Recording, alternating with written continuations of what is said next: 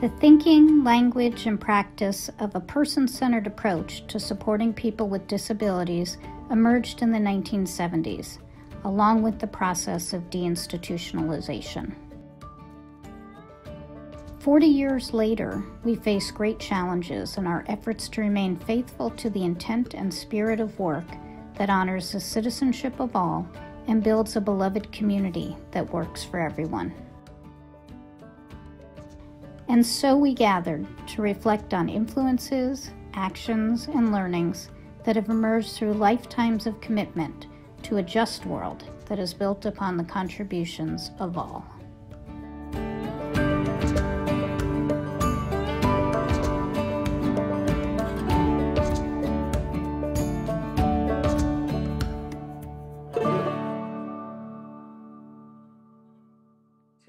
Being involved in thinking about ideals, being ideal seeking, is that from the very beginning it always involved organizational change.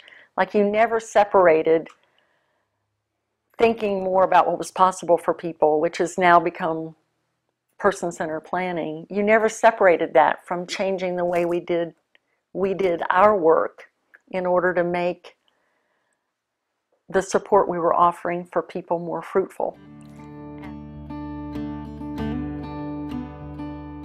And our job was to go to the various institutions in the state, identify people or have the hospital would identify people to move, find a place in the community for them to live, move them in, and be of there to support over time. I'd never done anything like this before in my life, but it was really fascinating. And looking back on it now, again, just kind of blows my mind sometimes. Um, I was one of 14 or 15 people in the entire state of Georgia. We had a number of counties that we were responsible for, and each of us was only the one person in each of these regions. So I would go, say, to Central State Hospital, which at one time was the largest institution in the world, meet with staff and find out who might be ready, uh, might be able to go. The thing that's so amazing to me today, as I think back about that 18 months that I worked in that program, was that in 18 months, I moved 38 people into family homes. So there's a lot about this that's imperfect, but at the time, into family homes where they would be part of a, of a family. We had to do everything. We had to meet the people, go find a place in the community, get a home inspected, have everything checked, actually pick the people up at the institution and take them to where they were going to be living, and uh, then back and visit to make sure things were going okay.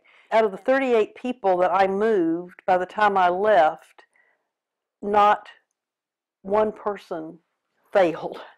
Everybody was successful in living there. And that includes some people that I remember specifically. Uh, there were two men who moved into the same family home who had been at Central State Hospital for 50 years each. And when I picked them up to take them to where they were going to be living, they were like this, didn't look up, bent over, just, you, you could hardly see them. So I got them to the place where they were going to be living, went back two weeks later, and when I rang the doorbell, they met me at the door standing up like this. And in two weeks, they just seemed like they'd been transformed people from living at Central State and living with the family. And then there's one other woman that I remember who was um, had some kind of mental health issue, moved in with another woman and shortly after she moved in, the, the woman she was living with got very, very sick. And this woman, who had been institutionalized for over 20 years, was not supposed to be able to do anything, totally took care of the woman she was living with until she recuperated. And then went back to not doing very much, which I think is one example which shows the power of being needed and like rising to the occasion. And when it's not there, things just went back the other way. So it's it's very powerful to me to remember that time because I wasn't any expert uh, in anything. Was given the job. People in the institutions were very supportive and very cooperative, and we just did it. And when I ask myself today, how many people does it take to move 38 people? How long does it take? How much does it cost these days to do what not just me, but the other people who were doing the same job in Georgia did? and had that many people be able to move out of a, an institution into some type of uh, ordinary home in the community.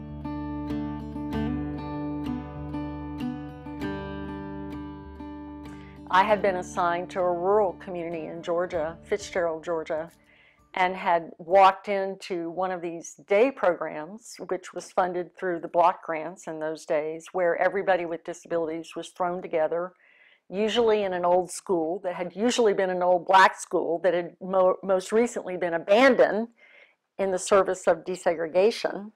And um, that was where I landed to try to work toward a higher possibility for community and for a group of people uh, which in that case were people with disabilities of all ages, because that was before 94 142, uh, before kids were in school, and everybody, whether they were babies or school age kids or old people, were all just thrown together in these programs. So I spent several years there trying to build with my with my friend Julie, build this school into something that was really more meaningful than just a place to throw people, because that's kind of how it was that's kind of how it felt when I first went uh, there. We did a lot of things. We brought in a lot of programming and a lot of great teaching and good behavioral, this and that, and a much more of an emphasis on engagement, it, real experiences of some sort or another. But then um, we had a PASS evaluation of that program. It was the first PASS evaluation in Georgia, and that's where I met um,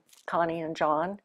They were um, in the team leaders. At the time, I was student teaching in the local school, but I came to this feedback uh, in the evening, and I was all full of expectation that it was just going to be great. My friend and I, and so many of the people at the training center, we put so much into building this program. Uh, for anybody who knows anything about a PASS assessment, um, it was just your worst nightmare.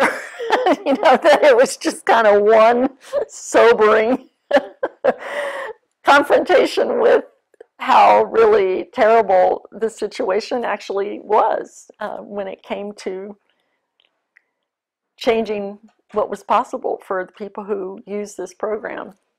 So in a couple of hours, I went from thinking I had been very clever uh, for quite some time to thinking and really understanding that as much as it was hard to hear the feedback that in fact our program was completely segregated, that we had unbelievably low expectations for people, that we were living out all of the ways that we could possibly continue to devalue people in spite of our best efforts it was just a complete turning point for me to get that they were right. and we really needed to do something completely different if we were going to be making the difference that we believed was possible. Yep. Part of what was characteristic in those times, that was in 1976, is that you could receive feedback like that and let it in.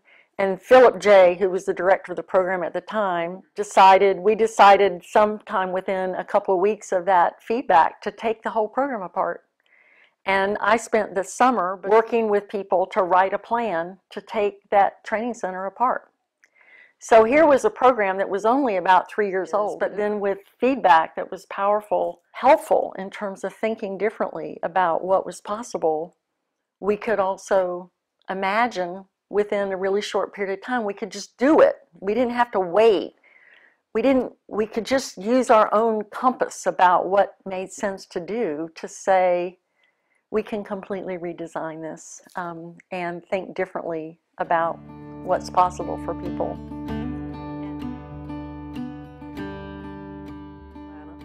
I got a job at the Georgia Mental Health Institute. It was a psychiatric hospital, but this unit was specifically for people with developmental disabilities. And shortly after I started working there, um, John came to be the director. He got us involved with PASS and thinking about the things that we were doing in a different way. We actually did a PASS assessment on the place that we all worked, and we decided that it had to be closed.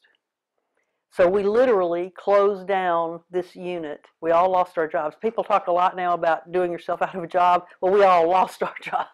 And I took a job with the state ARC It was also very interesting that after this happened and we closed the place, that about 10 years ago, John and I were on an airplane, and down the aisle of the plane comes one of the men that had been in that unit in 1975 and 76, going on a trip to Seattle.